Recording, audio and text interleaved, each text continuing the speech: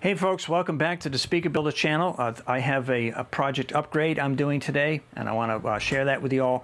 These are the active speakers that I built a couple of years ago and uh, my intention with these was to achieve a very high level of sonic clarity and I don't know that I was ever very happy with uh, ever having achieved that high level that I was after. So I'm here doing an upgrade to try to uh, get a little closer to that, to get another notch closer. If you'd like to see, this is a five-part video series on these speakers. I talk all about 8-inch two-way design. I talk about the vented alignment. I talk about active versus passive. I show you the active crossover. So I'm not going to cover any of those details here. You can check out those videos to, uh, to learn about this system if you want. Here I'm just going to talk about upgrades and there's a couple of important changes I'm going to make with this system. That's going to bring me up a little bit higher up to the closer to that high level of clarity I was after. So first change we're going to make is uh, that I have made has been to uh, place the vent in the front of the cabinet.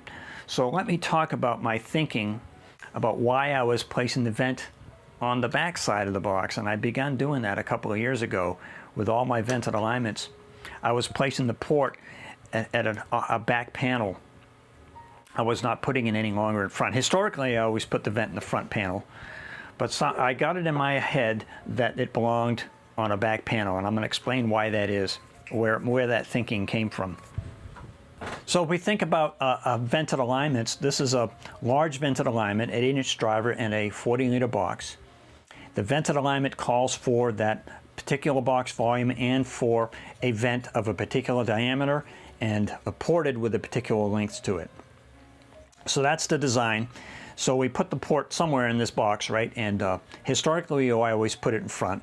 My thinking a couple of years ago uh, was, and maybe I've been thinking too hard about this, but uh, the idea was that it's potentially uh, problematic to have the driver and the vent on the same panel, both facing into the listening uh, area. And the reason why is if we slow down time for a minute and watch this driver producing positive waves and then negative waves and then positive and then negative.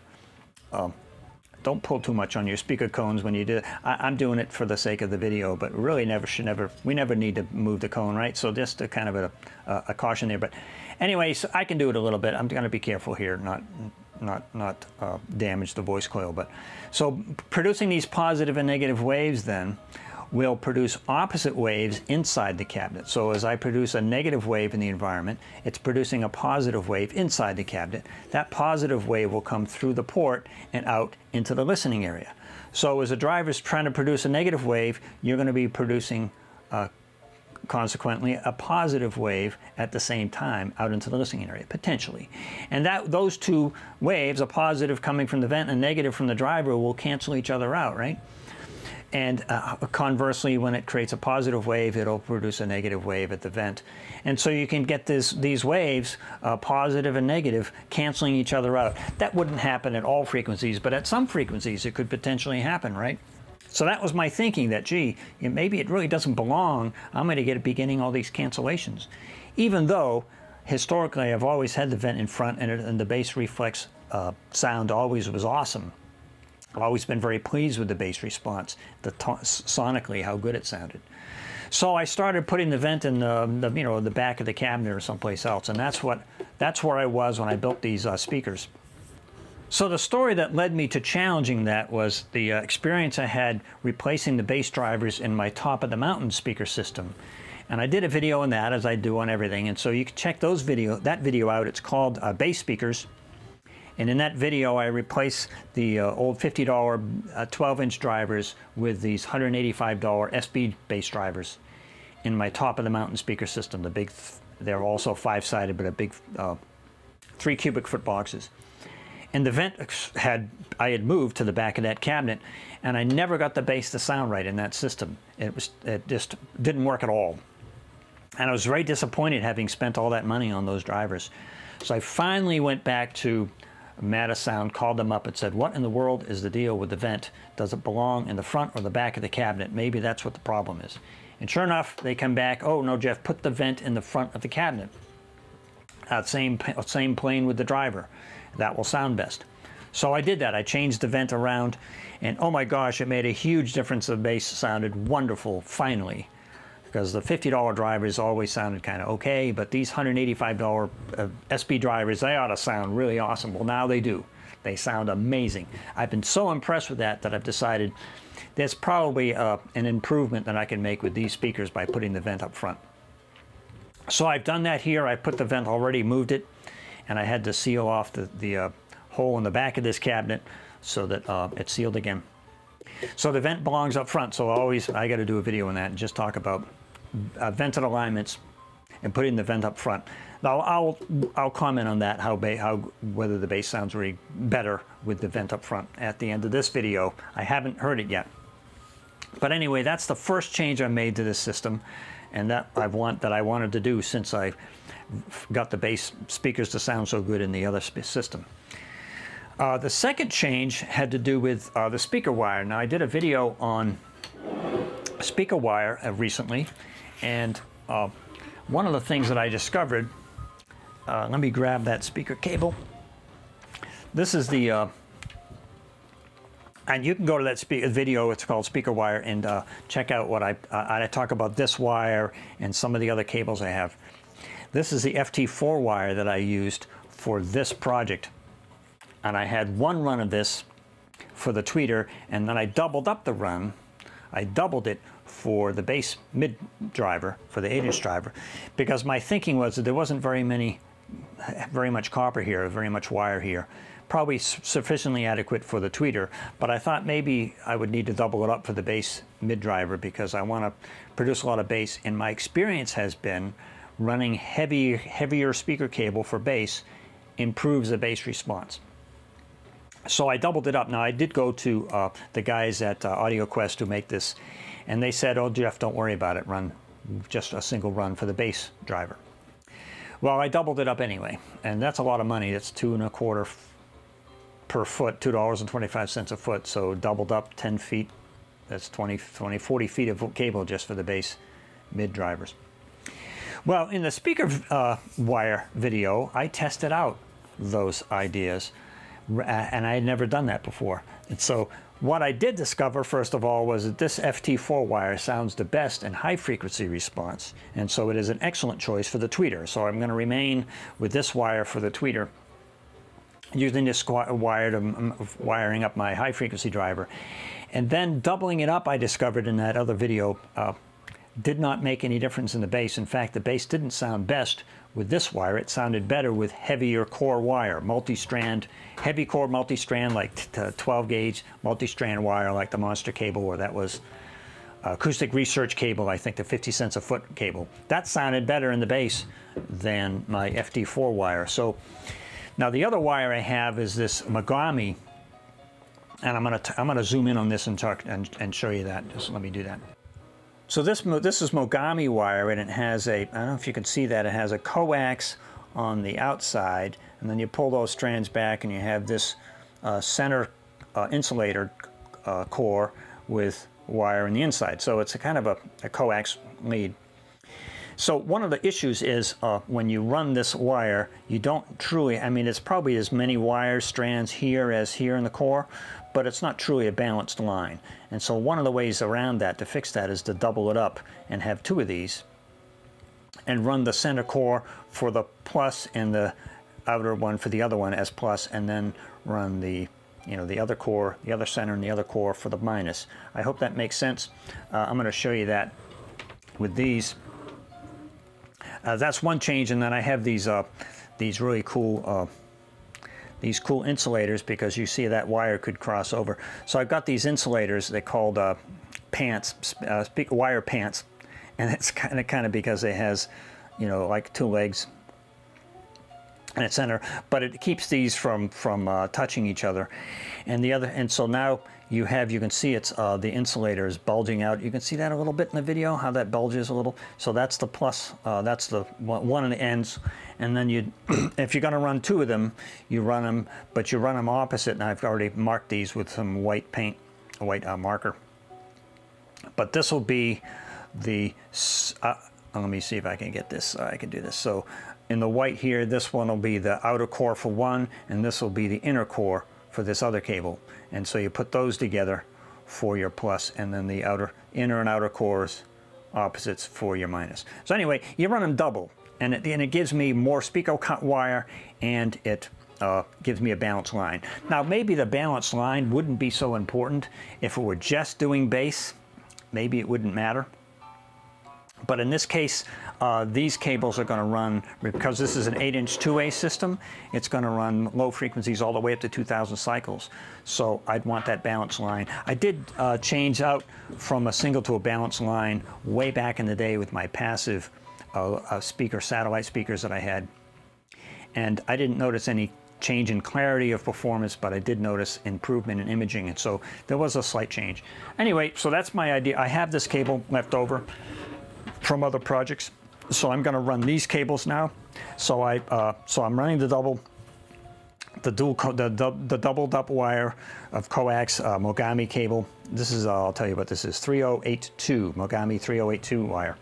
You can still get this stuff.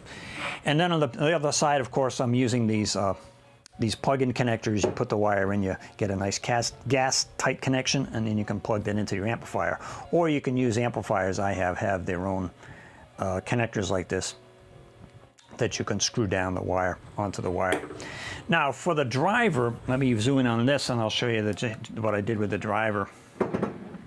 So with the drivers, what, what, they, what they come with is these kind of connectors and especially on the other side, they're very small.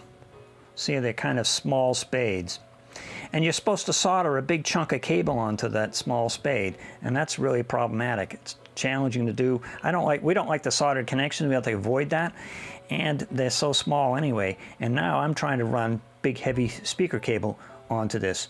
So one of the workarounds is to you, you buy these at, at Parts Express and they are, they are uh, press on, push on connectors. And they, when you push them down, they open up the hole. Maybe you see that in the video. They open up the hole and you stick the wire through and then they're spring loaded and they come back and press onto the wire and hold the wire in place. Uh, the nice thing is over time, they as they the wire might fatigue, you know, get collapsed, the, the spring will continue to hold adequate tension on those. So anyway, uh, they're only a couple bucks a piece. I don't know how much they are, but and these, these speakers happen to have a screw that held these down already. And so I was able to remove the screw and then just screw these others on because they had a hole in the middle already. So those are the couple changes I made for the, for the speaker wire. We're going to use this instead of the Mogami doubled up. And we're going to uh, put the pants on to the cables to make that nice. And then we added the for the bass. So that's all about uh, all the changes on the bass that I've made. Now let me talk about the high frequency drivers and the challenges I had there. Now I did a video on tweeters and in that video I talk about these and I talk about the, uh, I bought some other drivers. I was trying to test out uh, different tweeters to see how they would sound against these and against my uh, Focal tweeters that I have in the top of the mountain system. I had never gone to that trouble before, so I went to that trouble. I was thinking about rebuilding this project and uh, just exploring high frequency drivers generally. These are the drivers I ended up with. I started out with the SEAS $50 piece uh, metal dome tweeters. I think they were magnesium aluminum alloy cones uh, elements. And then I those didn't work out very well, and I went to these. These are the uh, Audax magnesium. Uh, I think these are, I'm sorry, titanium dome tweeters, 100, 110 bucks a piece or something. And uh, so they're really nice, but they're a little bright, they're a little crisp, they're a little harsh on the ears in an active system. These would be great in a passive speaker. I'll target these for a passive speaker someday. So I tried out those uh, uh Morel drivers. You go look at the Tweeters project. I had the Morel drivers. I had purchased them. I showed those in that video. I wasn't very happy. Those are soft dome tweeters. I wasn't very happy with those. Prior to doing that video, I had bought these very same drivers. These are the uh, Etons. Eton makes these uh, ceramic coated titanium dome tweeters. Uh, pretty elaborate stuff, pretty expensive. These are 140 bucks a piece. The other ones are 200 bucks a piece, but these do have the clarity of my Focal tweeters. They don't have a brightness at the top end like the like the uh, Audax tweeters do. So they have a nice neutral sound as far as no peaks or anything. So that's my my my challenge here is to try these out to see how these are neodymium magnets and so they're not very they're not very big. Now the challenge I had with putting these in is that uh, let me go up on the cabinet and show you that. So these holes I had modified already once because I had put the SP drive, uh, rather the SEAS drivers in there and then changed out and changed my mind and went with the uh, the Audax tweeters. So I had to make a different, you know, had to change the hole around a little bit. Then I'm gonna, now I'm gonna change the tweeter again. So while an active system provides for the flexibility to put different drivers in, you don't have a passive crossover that dictates the type of driver, right? But now you've got a different hole pattern, and this is a smaller tweeter. And so the problem was to get this mounted in here. It wouldn't mount in here. I'd have to cover this over, put a plate on here. I, I thought about different things. So these plates, this steel plate, was from a tweeter that I used in a different project. And so I was able to cut that steel plate out. It's actually an aluminum tweeter plate. I was able to cut the plate out and then mount this tweeter onto that steel plate, uh, aluminum plate rather. And I already had the holes from, from that tweeter. Mount this on here and now I have a, a larger hole for mounting these tweeters on there. So they're going to go right on like that. That was a project. That was a challenge to get these tweeters mounted on here and how I was going to do that because they didn't fit anymore. The holes were a mess. And I don't have a nice a way of routing this and then putting a new plate in here. And so there were a couple different solutions I was looking at, but that was my best solution to take those aluminum plates from other tweeters, cut them, create a ring basically, and mount these inside that aluminum ring. Repaint them nice flat black. They were a flat, I had to paint them black and then hit them with gloss paint to make them look nice. But anyway, so that's how I, how I solved that problem. So those are the upgrades to uh, this project. Uh, so let me go ahead and put these together today and then I will, uh, maybe tomorrow or something, I'll pull the camera out and put it into, I'm going to put this system into the living room and play it and uh, see how they sound and then we'll make further comments at the end. So here are the speakers all assembled and I've set these up in my living room. And uh, let me orient you first of all. Uh, this is the active two-way speaker system, the, the, speaker boxes themselves, and this little cheapy wooden cabinet that I made that holds the two amplifiers, the control amplifier and the electronic crossover on top there. So that is setting, that entire system is setting in front of what I call the top of the mountain speaker system, which is in back along the wall the satellites, you see the one on the right, the satellite is sitting on top of the bass speaker on both sides. You can't see the other one on the other side, it's blocked, but and the cabinets and include all the amplifiers in the back along the wall there. So the reason I've set the system up in here, and I certainly wasn't going to move all that other stuff out of this room, but I'm, my ears are used to hearing the top of the mountain system, which is my reference point. Uh, not, not only generally, but for this system in particular. I've been trying to emulate that top of the mountain system. So my ears are used to hearing that system in this room, and so I wanted to hear this now, uh, this upgrade to this 8-inch two-way system in this room so that I could really do an A-B comparison. Uh, it is true, you know, every system will have a little bit different a sound if it's in a different room, and so you might try that. Take your speaker system, if it's not too much work, and put it into a different room and see what it sounds like. It sounds different. And the reason for that is you're not just hearing from the drivers, but you're hearing reflections from the room. And whether you have like soft carpet and soft furniture, or whether you have hard walls or hard floor, it's going to change the characteristic of the sound of your system. So, and every room is going to sound a little different. Anyway, so my ears are used to this room, so I know what I'm after. So putting it in here, it gave me that ability to compare to the top of the mountain, which is what the whole point was here, right? to uh, try to emulate that super clean system in a, in, a, in a less complex kind of a design. The other reason was that I had my CD player and my turntable on the back wall there. Through that control amplifier, it's all hooked up, ready to go. So all I did is I pulled the wires, the, the input lines, out of the uh, control amplifier that would normally feed to the, the uh, electronic crossover in the back system. And I've just, you can might see them I don't know if you can see them in the video, but a couple of cables are coming in and, and uh, are plugged into my electronic crossover out front here. So now the signal is going through that through that control amplifier. I think this is a good comparison. My control amplifiers don't color the sound too much, so whether I use the more expensive one in back or this one in front wouldn't matter. But it was just for simplicity's sake. Everything's plugged into that control amplifier, and so I don't have to make too many changes. But anyway, so I'm, uh, let me give some general comments first off. Uh, I was, uh, my original intention was to build a system that would be incredibly clean and emulate this incredible clarity that I, that I hear in my top of the mountain system. And for about half the money, basically, it's about 2,500 bucks in this uh, 8-inch two-way system. I got a 5,000 or more in the top of the mountain system. So I would say that I have definitely accomplished that finally with this upgrade. I, I didn't feel that way before with the old tweeters and so forth. So I definitely have arrived. Uh, I would be very, very happy with this speaker system if this is all that I ever had. If I haven't had another house, you know, get a cabin in the mountains somewhere, I could just bring this system and I could be very, very happy with it. It's really impressive. Now, because I know the top of the mountain system, I know what it sounds like.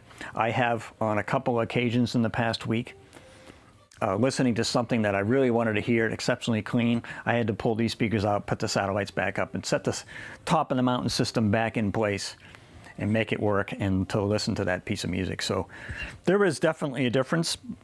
Well, obviously, there's a huge difference in cost. It's half the money of the top of the mountain system. So this kind of a system does uh, sort of prove the point that you get what you pay for.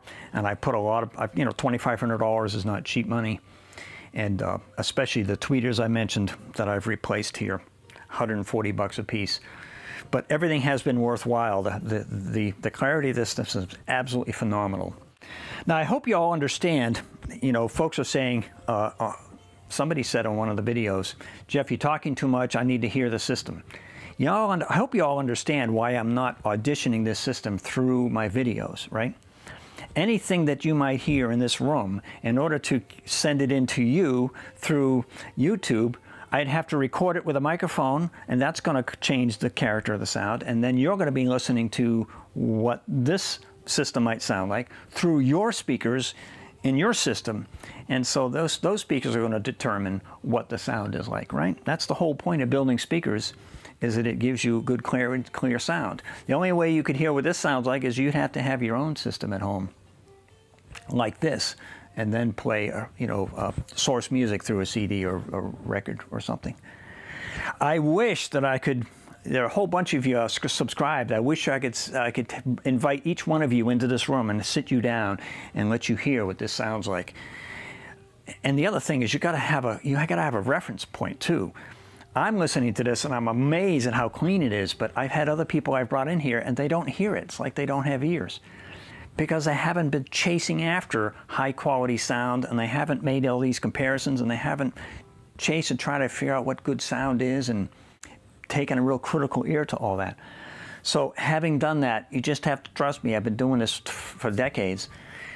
This is an amazing system. So if you really want an awesome sound, but again, 2,500 bucks is not cheap money. I'll go through the cost the control, the, uh, the electronic crossover, well, let me start with the control amplifier. That's where the source is.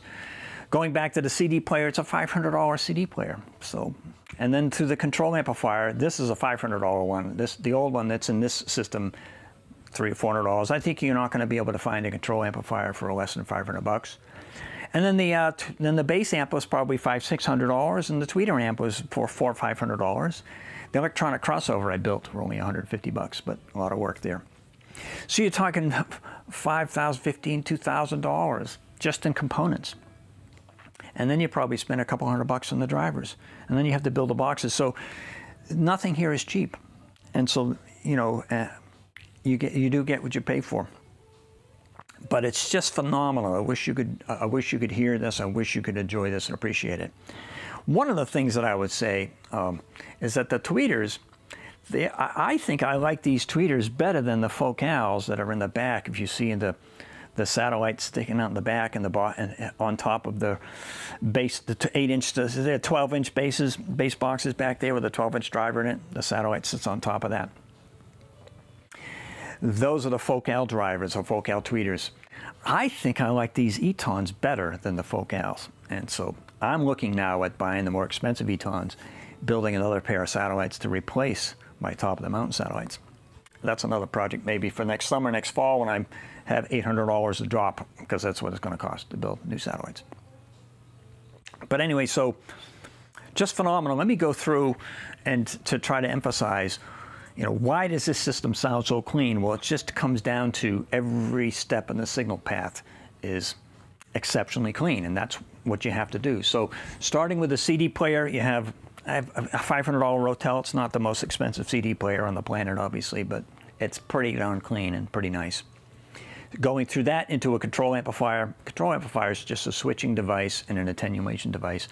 Doesn't I don't think it colors the sound that much. I couldn't hear much difference between these two in the past, but so you're coming through that, and then you're going through. This is uh, Audio Quest, Ruby. You can't get the Ruby anymore, but Audio Quest input cables. You spend hundreds of dollars on those but you gotta get if this is this audio cable coming from the control amplifier into the electronic crossover carries the full bandwidth, right? So you want to spend some money there on a good on a good uh, set of input cables going into your to your electronic crossover. Then this is the uh, crossover components I got from Phil Marchand. It's 24 dB per octave, Linkwitz Riley circuit, uh, high-end stuff.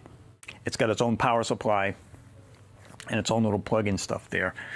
Uh, Phil Marchand makes really high quality stuff, so check out that's uh, marchandelec.com, I think it is. Check out his stuff, but that's where all those parts come from. I talk about that a little bit more, and I show you inside what that looks like in the original video series on the called Active Speakers, so you can check that out. Now, coming out of that, I have some uh, actually home-built uh, uh,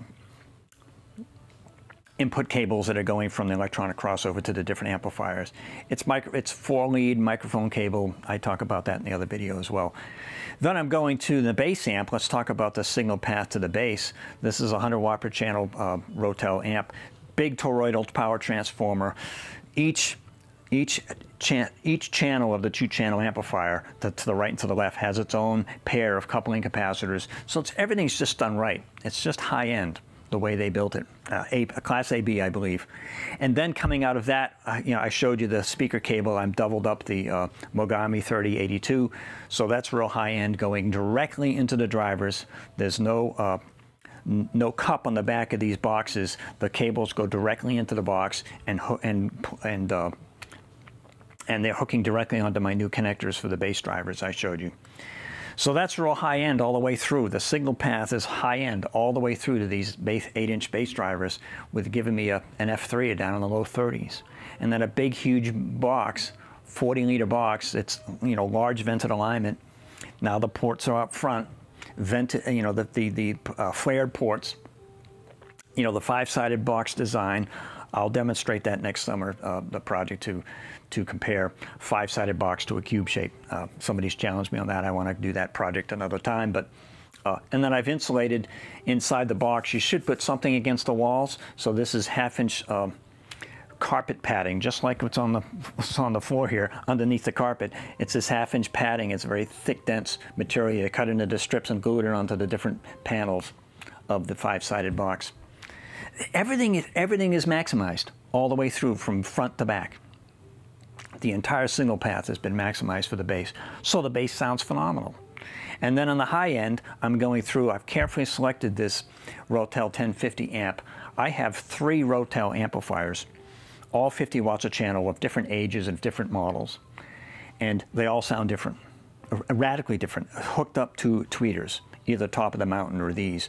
Either way, I could go, I could go do that and so that's interesting that amplifiers sound so different, especially in the high end. Uh, but so this one is the cleanest of the three, phenomenally clean, same amplifier I'm using in the top of the mountain speaker system.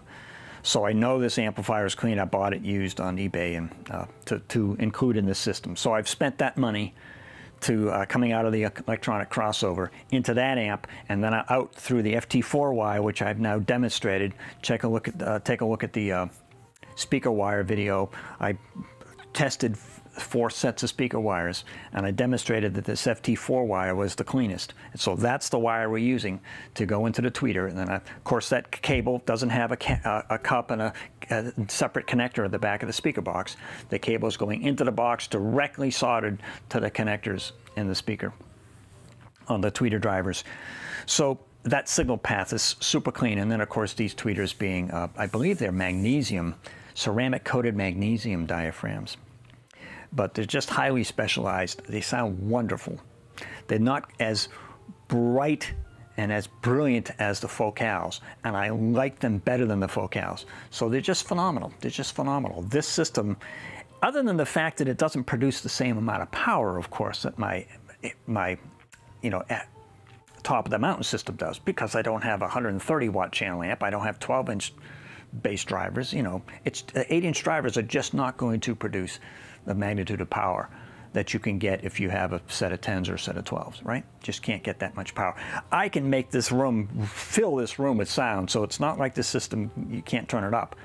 But I did have a recording I was listening to this week, and I had a kick drum and kick drum was going boom, boom, and those drivers were bottoming out. I was exceeding X max on these drivers.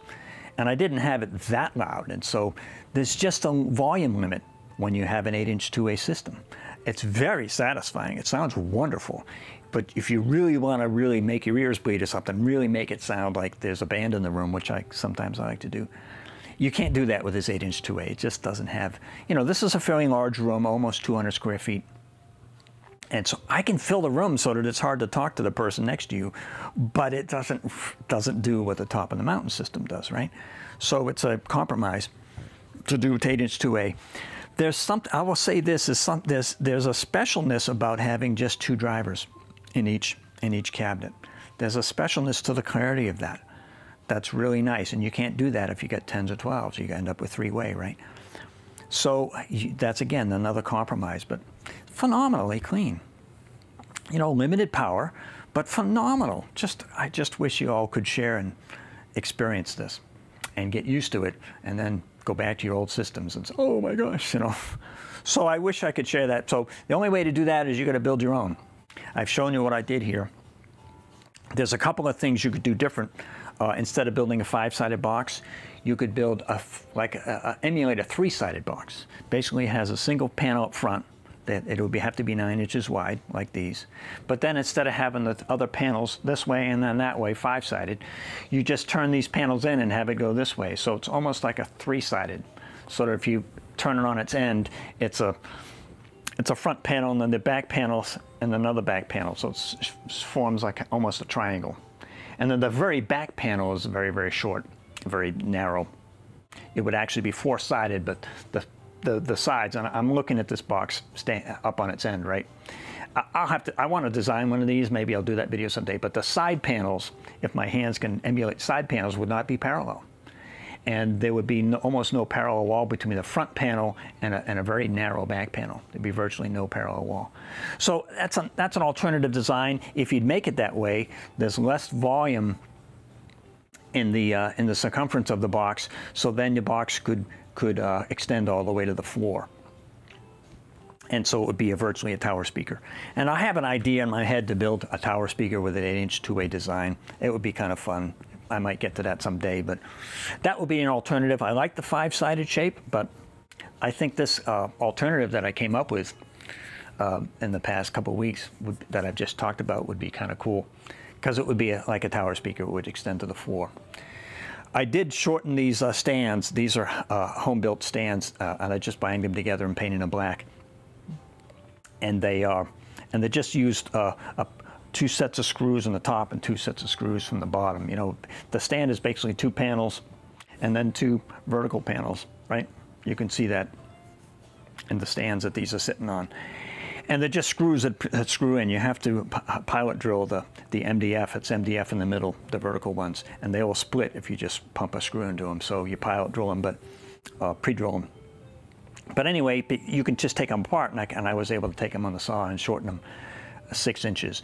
The tweeter needed to be 35 inches off the floor, so they were 41 with the stands the way they were. So I shortened the stands down so they're down a little lower, but it would be cool, you know, as I say, to build a, a tower speaker that would extend all the way to the floor. So that's about it for uh, the uh, review of this system. Uh, please uh, feel free to comment and uh, we'll uh, see you all next time.